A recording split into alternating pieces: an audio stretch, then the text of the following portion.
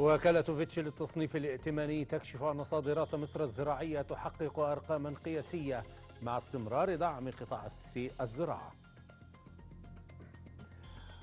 رئيس حكومة تصريف الأعمال اللبنانية يؤكد تواصل الجهود لمعالجة الأوضاع المالية في لبنان. وأسعار النفط العالمية تصعد وسط تفاؤل بنمو الطلب على الوقود في الصين.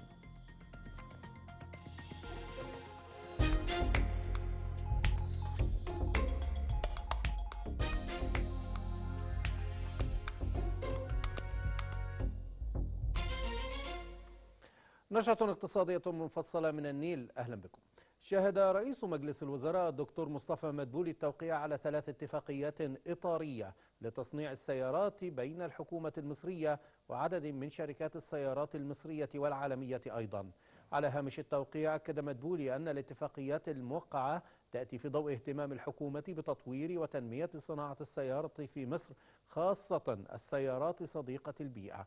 كما أشار مدبولي إلى أن إنشاء صندوق تمويل صناعة السيارات صديقة البيئة يهدف إلى تطوير وتنمية قطاع صناعة السيارات في مصر. على صعيد آخر قال دكتور مدبولي إن مصر وتركيا تتمتعان بعلاقات تاريخية وعلى الرغم من أي اختلافات سياسية قد حدثت خلال فترات سابقة إلا أن مصر حرصت على استدامة العلاقة بين الشعبين والتعاون في المجالات الاقتصادية والتجارية. جاء ذلك خلال لقاء مدبولي بوفد ضم ممثلي شركات تركية تعمل في مجالات تطوير المناطق الصناعية الغزل والنسيج الملابس الجاهزة والمستحضرات الطبية بالإضافة إلى الأجهزة الكهربائية. وأعلنت هذه المجموعة عن خططها التوسعية في مصر والتي يقترب إجمالي استثماراتها من 500 مليون دولار. هي استثمارات جديدة. ذكرت وكالة فيتش أن قطاع الزراعة في مصر يعتبر واحدا من أهم القطاعات المستهدفة لجذب المزيد من الاستثمار الأجنبي المباشر حيث تتخذ الحكومة المصرية خطوات للحد من التضخم وزيادة الإنتاج المحلي والصادرات أيضا وتقليل الاعتماد على الواردات وتعزيز الاستثمار الأجنبي واحتياطيات النقد الأجنبي. وتدعم الدولة القطاع بشكل كبير حيث تقدم الأسمدة بأقل من نصف تكلفة السوق. وسلط مركز المعلومات ودعم اتخاذ القرار بمجلس الوزراء الضوء على تقرير وكالة فيتش الذي أفاد بأن صادرات مصر الزراعية تجاوزت الستة وثلاثة من عشرة مليون طن في عام 2022 لتحقق رقما قياسيا جديدا بزيادة تتجاوز 624 ألف طن عن العام السابق عليه 2021 نفى المركز الإعلامي لمجلس الوزراء ما انتشر من أنباء بشأن زيادة المصاريف الإدارية على كافة دفاتر التوفير بالبريد المصري. المركز الإعلامي أوضح في بيان له أنه تواصل مع الهيئة القومية للبريد التي نفت تلك الأنباء وأكدت أنه لا صحة لزيادة المصاريف الإدارية على كافة دفاتر التوفير بالبريد المصري. وشددت الهيئة القومية للبريد على أنه لم يطرأ أي تغيير في قيمة الرسوم الإدارية التي يتم تحصيلها على كافة دفاتر التوفير بالبريد المصري.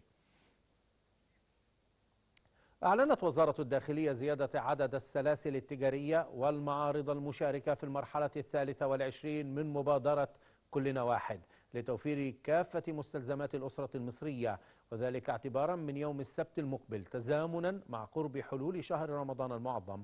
أوضحت الوزارة أنه سيتم زيادة عدد السلاسل التجارية الكبرى المشاركة في المبادرة لتصل إلى 31 سلسلة تجارية بإجمالي 1074 فرعا على مستوى الجمهورية بالإضافة إلى عدد من السرادقات بالميادين الرئيسية بمحافظات الجمهورية كافة.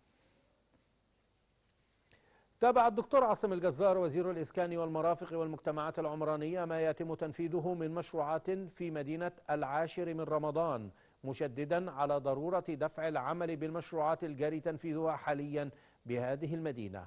واطلع وزير الإسكان على الموقف التنفيذي للمشروعات في مدينة العاشر التي تمثل أهمها المشروعات السكنية ضمن المبادرة الرئاسية سكن لكل المصريين وأعمال الطرق والمشروعات الخدمية المتنوعة. وأشار الجزار إلى أنه تم خلال العام الماضي بيع نحو 90 قطعة أرض استثمارية بأنشطة مختلفة لتوفير احتياجات المنتقلين للسكن بهذه المدينة الصناعية الهامة. أكد وزير الموارد المائية والري الدكتور هاني سويلم أن وزارة الري تنفذ العديد من مشروعات الكبرى لتحديث وتأهيل وصيانة منشآت الري في مختلف محافظات الجمهورية. جاء ذلك خلال استعراض الموقف التنفيذي لمشروع مجموعة قناطر بيروت الجديدة. سويلم قال إن هذا المشروع ألهام يعد ضمن مجموعة المشروعات الكبرى التي تنفذها الوزارة بهدف تحديث وتأهيل وصيانة منشآت الري بمحافظات الجمهورية المختلفة.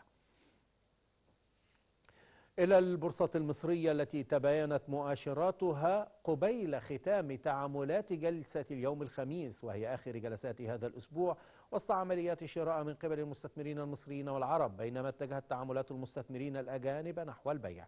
وسجل رأس المال السوقي لأسهم الشركات المقيدة بالبورصة مستوى تريليون 108 مليارات جنيه بعد تعاملات كلية بقرابة 2.4 من عشرة وسبعة من عشرة عفوا مليار جنيه.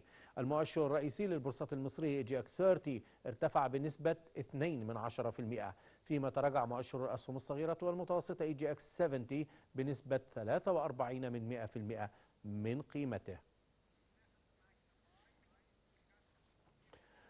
دعونا ننتقل إلى البورصة المصرية في مقرها في وسط البلد مع زميلتنا مراسلة النيل أسماء حسن أسماء اليوم جلسة نهاية هذا الأسبوع كيف تابعت إغلاق المؤشرات في هذه الجلسة؟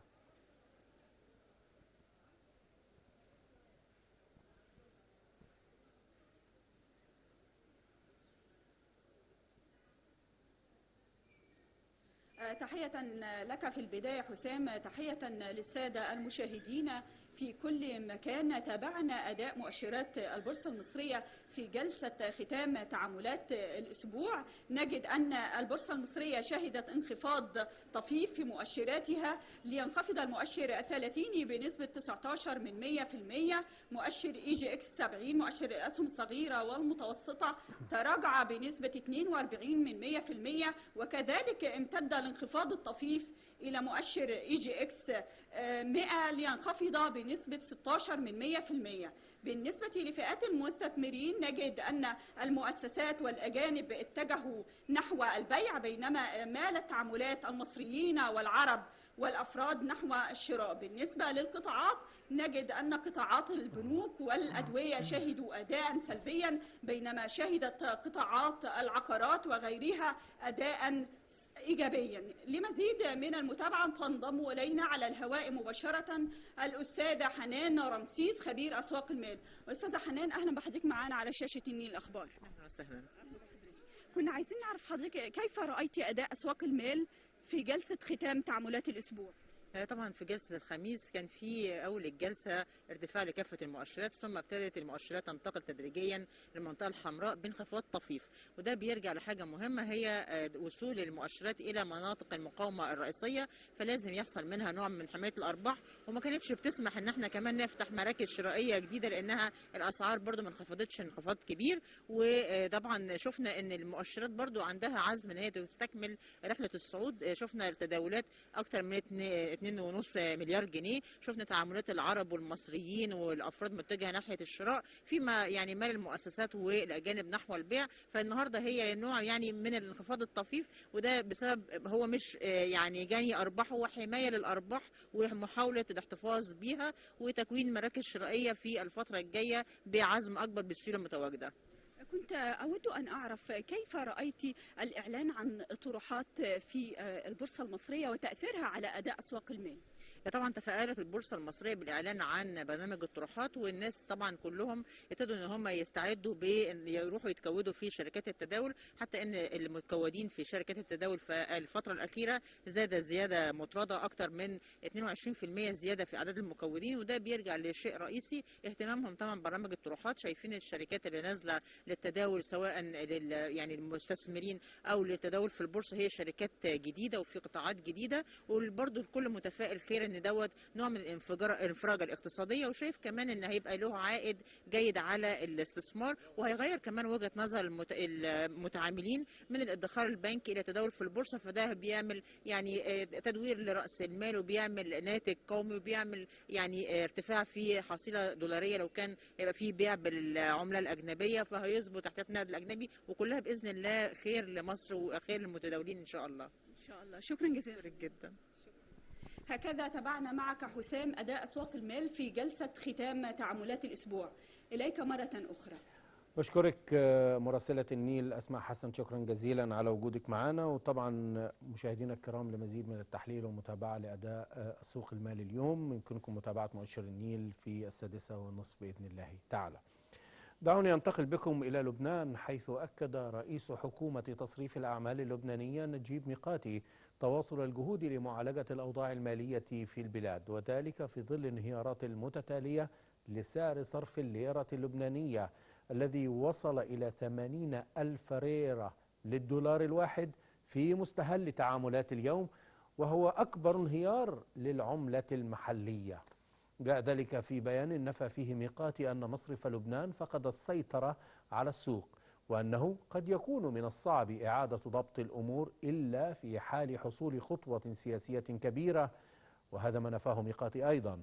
هذا ويشهد سعر صرف الليرة اللبنانية انهيارات متتالية على مدار هذا الأسبوع. قال البنك الأوروبي لإعادة الإعمار والتنمية إن التداعيات الاقتصادية المحتملة للزلزال القوي الذي ضرب تركيا قد يسفر عن انخفاض الناتج المحلي الإجمالي للبلاد بنسبة واحدا بالمئة هذا العام. وأضاف البنك أنه وبسبب الدفعة المتوقعة من جهود إعادة الإعمار في وقت لاحق من العام الذي سيعوض التأثير السلبي على البنية التحتية وسلاسل الإمداد حيث أثر الزلزال إلى حد كبير على مناطق زراعية ومناطق تضم صناعات تحويلية خفيفة. لذلك فإن تداعياته على القطاعات الأخرى سيكون محدودا. على صعيد آخر حذر البنك الأوروبي لإعادة الإعمار والتنمية في تقريره عن التوقعات الاقتصادية الإقليمية الصادر له من أن ارتفاع أسعار الغاز والتضخم المستمر الذي يؤدي إلى تآكل الأجور الحقيقية سيحدان من النمو في أوروبا وآسيا الوسطى وشمال إفريقيا أيضا. وخفض البنك تقديراته للنمو في المنطقة إلى 2.1% من 3% هذا العام وهي أقل من توقعات البالغة 2.4% لعام 2022 ننتقل إلى أسواق النفط العالمية حيث ارتفعت أسعار النفط اليوم إذ عوضت الآمال في انتعاش قوي للطلب على الوقود في الصين وهو أكبر مستهلك للنفط. الخسائر الناجمة عن ارتفاع الدولار والزيادة الكبيرة في مخزونات الخام الأمريكي. ارتفعت العقود الآجلة لخام القياس العالمي المعروف بمزيج برنت ارتفعت ب 59 سنتا إلى 85 دولارا 97 سنتا للبرميل. كما زادت العقود الآجلة للخام الأمريكي 73 سنتا إلى 79 دولارا 32 سنتا للبرميل. على صعيد متصل قالت وكالة الطاقة الدولية أن الطلب على النفط سيرتفع بواقع مليوني برميل يوميا في عام 2023 بزيادة 100 ألف برميل يوميا عن توقعات الشهر الماضي. وبهذا الخبر ننهي هذه النشرة. إليكم تذكرة بعناوينها. وكالة فيتش تكشف أن صادرات مصر الزراعية تحقق أرقاما قياسية مع استمرار دعم قطاع الزراعة. رئيس تصريف رئيس حكومة تصريف الأعمال اللبنانية نجيب ميقاتي يؤكد تواصل الجهود لمعالجة الأوضاع المالية المتردية في بلاده. وأسعار النفط العالمية تصعد وسط تفاؤل بنمو الطلب على الوقود في الصين. أكبر مستهلك للطاقة. انتهت نشرتنا الاقتصادية المفصلة لهذا اليوم. نشكركم دائما على حسن المتابعة. دمتم في أمان الله.